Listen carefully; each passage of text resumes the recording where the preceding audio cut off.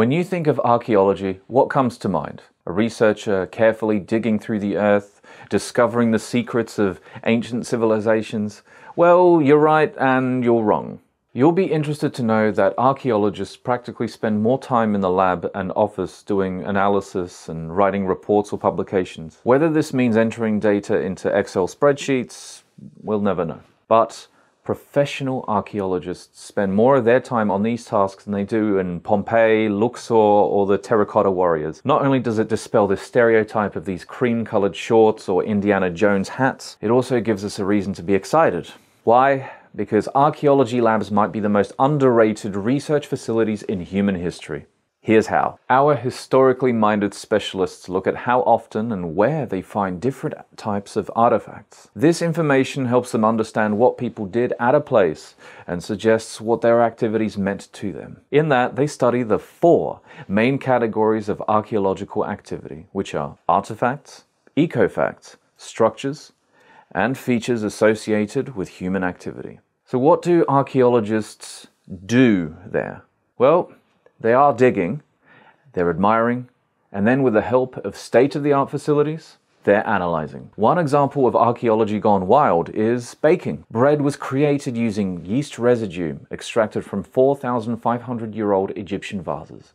After extracting the dormant yeast from cooking vessels, an amateur gastro-Egyptologist used ancient grains and sourdough to make edible bread. They even made beer, by the way.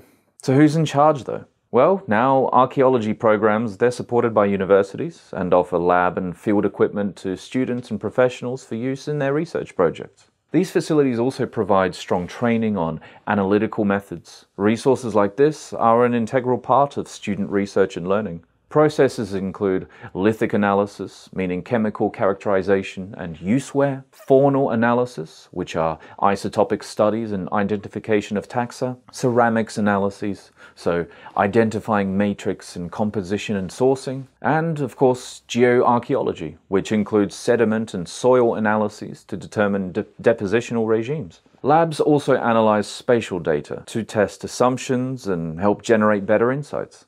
But of course, there are many kinds of archaeological research facilities out there. We can name six types of laboratory spaces. One is an archaeological chemical laboratory for ecofact extraction and identification. Two is an image laboratory for microfilm, macro, and micromaterial analysis, including a scanning electronic microscope. Three is a computer laboratory for quantitative analyses, GIS studies, and multimedia work. Four is an XRF laboratory for geochemical information. Five is a geophysical computer room. And at six, we have the soils lab for, for sediment processing and analysis. There are more, but of course, these are just some of the most popular options. We can't go into all of them. Archaeology is an interdisciplinary study that interests any and every material aspect of human cultures and societies, both past and present. Now, you can't just be an archaeologist and research the entire realm of topics from Neolithic remnants of early human settlements to the trash and refuse of modern cities. Some archaeologists work in museums, some in the field, but many of them in labs themselves. By the way, according to the industry, Indiana Jones, the icon of the field, is actually a terrible archaeologist.